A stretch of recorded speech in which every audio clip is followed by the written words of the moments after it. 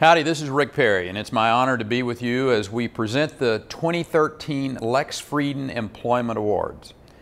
Now, these awards, uh, named after the disability rights champion, annually go to organizations and individuals who have gone above and beyond to ensure all Texans have a chance to put their notable skills and talents to use in the workplace. Tonight, I'm pleased to join you in celebrating these individuals and institutions who are making a true impact in their communities for this important cause.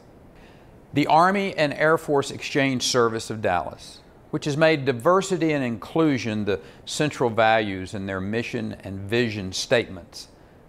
Target Medallion Store in Dallas, where workforce training, hiring, and support of all of its employees means a productive, inclusive environment.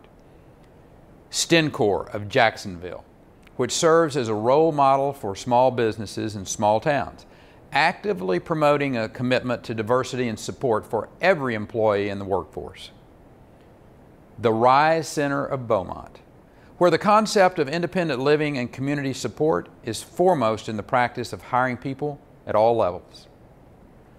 The Panhandle Coalition for Transition Services, which has implemented its Living Independently Through Education project, ensuring a successful career path for many students with disabilities.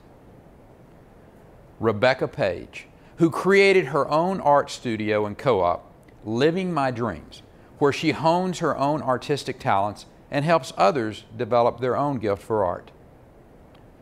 John Bramblett of Denton, whose beautiful painting, Cowboy Sunset, was used as a design for this year's Texas poster for National Disability Employment Awareness Month. And finally, this year's Governor's Trophy winner, Carol Schubert, President and CEO of PCSI Inc., who has built his business around his conviction that with opportunity and support, people with disabilities will excel in the workplace. Gig 'em, Carol. Anita and I congratulate and thank tonight's winners. Through their hard work and the hard work of all Texans with disabilities, we can continue to make our state the best place in the country to live, work, and raise a family. God bless you all. And through you, may He continue to bless the great state of Texas.